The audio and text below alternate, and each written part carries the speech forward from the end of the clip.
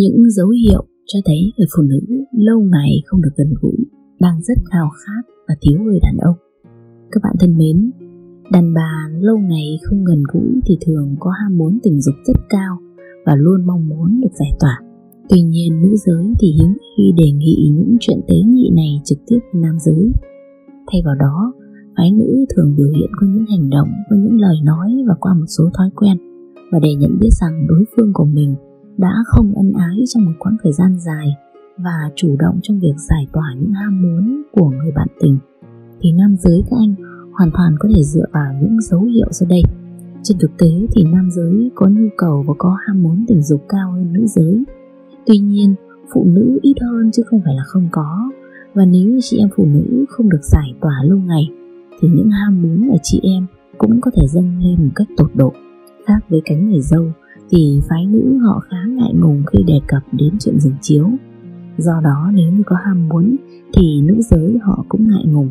Và nếu như các anh bắt gặp và có thể bắt bài đúng những dấu hiệu này và giúp chị em phụ nữ giải tỏa, thì tôi nghĩ rằng tình yêu của các chị dành cho các anh có lẽ cũng sẽ lên đến đỉnh điểm.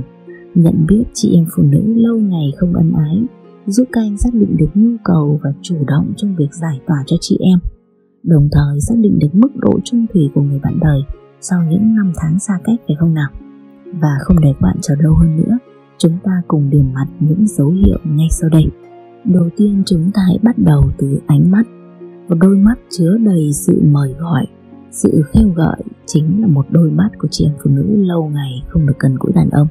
Đôi mắt chính là nơi để mọi suy nghĩ và tâm tư của bất cứ ai trong chúng ta được thể hiện ra bên ngoài. Kể cả việc người phụ nữ đang thèm khát chuyện ấy cũng như vậy. Tâm tư này cũng được thể hiện qua ánh mắt. Nếu như người phụ nữ lúc bình thường, Đôi mắt của họ thường tĩnh lặng và dịu êm, Thì cho đến khi chị em phụ nữ đang rất cần hơi đàn ông, Thì đương nhiên ánh mắt sẽ khác. Một ánh mắt với lửa tình nồng cháy và đôi đồng tử giãn to. Bạn sẽ thấy trong ánh mắt của cô ấy chứa đầy dục vọng và sự thèm khát khi nhìn thấy bạn. Và một điều thú vị là đây cũng chính là ánh mắt mà một người đàn ông đang ham muốn lâu ngày không được đáp ứng cũng thể hiện.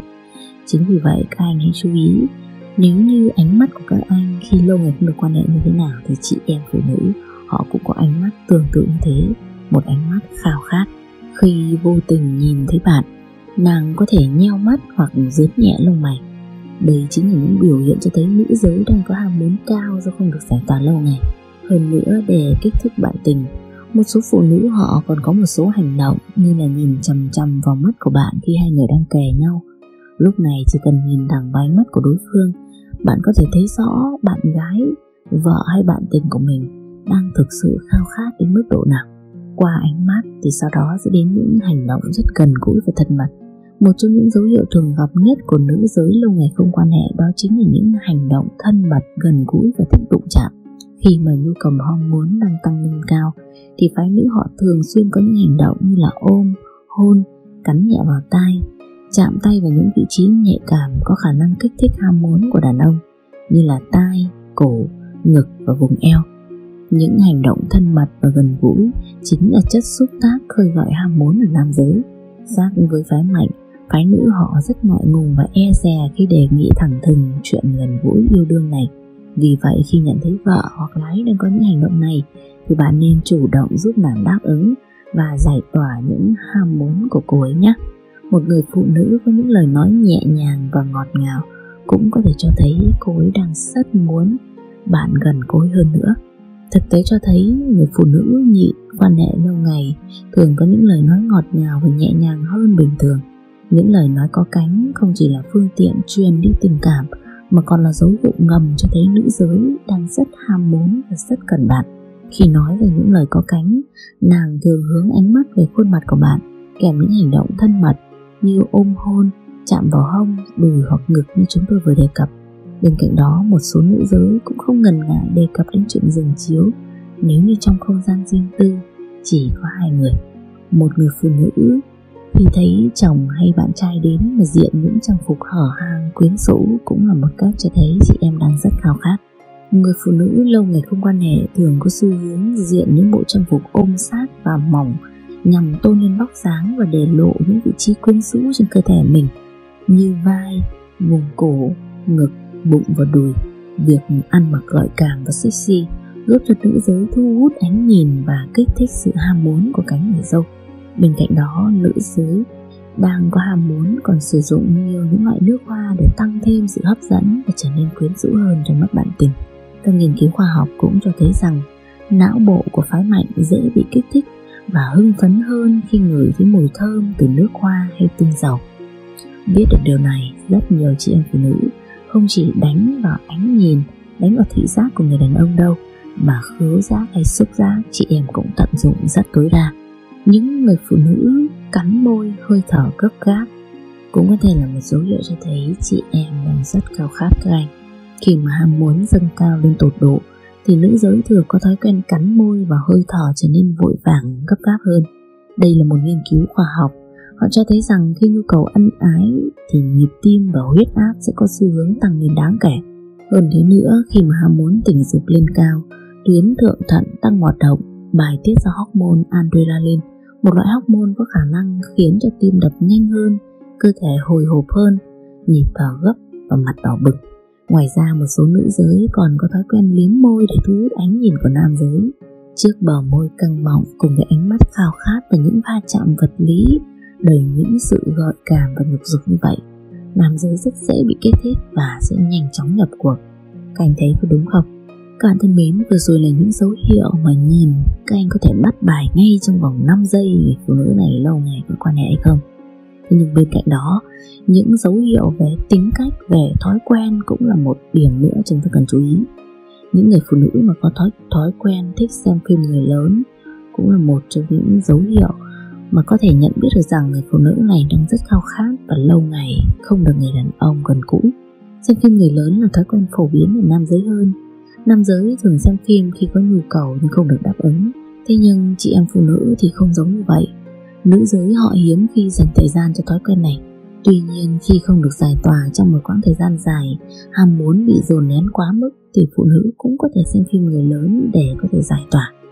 Với những bạn gái mạnh bạo, nàng có thể đề nghị bạn trai hay người đàn ông của mình cùng xem phim và liên tục chạm vào những vị trí nhạy cảm để kích thích ham muốn và hứng thú của người đàn ông đây thực sự là một dấu hiệu là phải họ đang rất cần bạn ân ái với cô ấy. Họ đang khao khát bạn quá rồi. Những người phụ nữ có tâm trạng thất thường, dễ cáu gắt cũng là một đặc điểm cho thấy chị em lâu ngày không được giải tỏa. Những hormone như endorphin, oxytocin và các chất dẫn truyền thần kinh được bài tiết khi ở tại tình dục có khả năng tạo cảm giác gắn kết giữa hai người, giảm căng thẳng thần kinh, cải thiện tình trạng mệt mỏi và nâng cao chất lượng giấc ngủ. Ngoài ra việc quan hệ tình dục đều đặn còn giúp nữ giới lạc quan, yêu đời và sáng tạo hơn trong công việc. Và đương nhiên điều ngược lại, nếu như chị em lâu ngày không được quan hệ, thì sẽ khiến cho bản thân rất uể oải, dễ mệt mỏi, tâm tính thất thường và dễ cáu gắt. Nguyên nhân dẫn đến tình trạng này là do lượng hormone và các chất dẫn truyền thần kinh trong não thấp. Hơn nữa, ham muốn không được giải tỏa cũng khiến cho chị em phụ nữ rơi vào trạng thái bứt rứt khó chịu và dễ gắt đầu hơn. Và nếu như bạn nhận thấy rằng người phụ nữ của mình đang có những dấu hiệu như thế này, thì hãy đưa chị em đi giải tỏa ngay lập tức nhé. Một người phụ nữ lâu ngày không ngửi hơi đàn ông, khi vào nhập cuộc sẽ gấp gáp và vụng về hơn trong màn dạo đầu.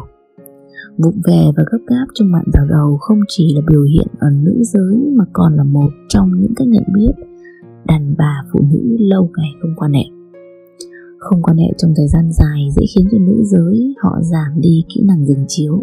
Chính vì vậy khi bắt đầu thì nàng thường khá vồ vập và vụng về. Thực tế thì chị em phụ nữ luôn là người điều chỉnh lại tốc độ cuộc yêu khi mà nam giới quá gấp gáp. Chính vì vậy, khi mà nàng thực hiện màn dạo đầu một cách vồ vập thì bạn nên hiểu rằng đối phương nó có ham muốn rất mãnh liệt và mong muốn nhanh chóng được giải tỏa. Dấu hiệu thứ 9 của chị em phụ nữ đó chính là cô bé trở nên nhạy cảm hơn Cô bé có xu hướng nhạy cảm hơn khi nữ giới không được giải tỏa những ham muốn tình dục trong một quãng thời gian dài. Chính vì vậy khi mà chạm tay vào vùng kín, bạn có thể nhận thấy cô bé ẩm ướt và nhạy cảm hơn, mặc dù trước đó bạn chưa hề thực hiện các hành động kích thích nào. Một số nghiên cứu khoa học họ cũng cho thấy rằng cô bé có xu hướng tiết nhiều dịch nhờn và dễ lên đỉnh hơn sau một quãng thời gian dài không cần gũi. Trong khi đó, phụ nữ quan hệ với tần suất thường xuyên rất khó để có thể lên đỉnh và đương nhiên cô bé cũng mất nhiều thời gian để có thể tiết đủ lượng dịch nhờn cần thiết cho việc nhập cuộc này. Dấu hiệu thứ 10 chị em phụ nữ cũng đang rất khao khát đàn ông, lâu ngày không được quan hệ. Đó chính là chị em phụ nữ dễ lên đỉnh hơn. Lên đỉnh hay cực quái là trạng thái sung sướng và thỏa mãn tột độ của quan hệ tình dục. Khi lên đỉnh thì nam giới có xu hướng phóng tinh, vào âm đạo, tim đập mạnh hơn, hơi thở gấp gáp hơn còn chị em phụ nữ khi lên đỉnh thì thường có những biểu hiện như hơi thở gấp gáp, rên rỉ và âm đạo có thắt mạnh. Sự thật là nữ giới không hoàn toàn lên đỉnh trong tất cả các cuộc yêu như nam giới đâu. Chính vì vậy sau khi ân ái, nam giới thường dễ buồn ngủ bởi vì ham muốn của mình đã được giải tỏa. Nhưng ngược lại, chị em phụ nữ có thể chỉ quan hệ để đáp ứng nhu cầu cho người bạn đời thôi chứ cũng chưa lên được đỉnh. Thế nhưng ngược lại những chị em phụ nữ lâu ngày không quan hệ thì hầu hết sẽ lên được đỉnh khi được giải tỏa. Và theo các chuyên gia, ham muốn dồn nén quá mức khiến cho nữ giới chỉ tập trung những cuộc yêu, không bị phân tán và hướng những suy nghĩ của mình về những vấn đề khác. Hơn nữa, ham muốn dâng cao tột độ còn kích thích tim đập nhanh, huyết áp tăng, âm đạo co thắt mạnh và tạo ra cảm giác sảng khoái cực độ cho chị em. Thế nên chị em phụ nữ dễ lên đỉnh hơn. Dấu hiệu thứ 11 đó chính là sau khi nói người phụ nữ sẽ nhìn bạn âu yếm và tăng tình yêu với người đàn ông hơn khi được giải tỏa thì chị em thường nhìn người bạn đời của mình với ánh mắt ân ái và dịu dàng. Lý giải cho hành động này là do khi lên đỉnh thì cơ thể đã được giải phóng một loạt các hormone như là oxytocin, endorphin, prolactin cùng với một số các chất dẫn truyền thần kinh khác khiến cho phụ nữ cảm thấy hưng phấn và êm ái hơn. Các hormone và chất dẫn truyền này tạo cảm giác yêu thương, tăng mức độ gắn kết trong mối quan hệ, giảm căng thẳng mệt mỏi khiến cho nữ giới có những hành động, những lời nói rất nhẹ nhàng và ánh mắt cũng dịu dàng hơn.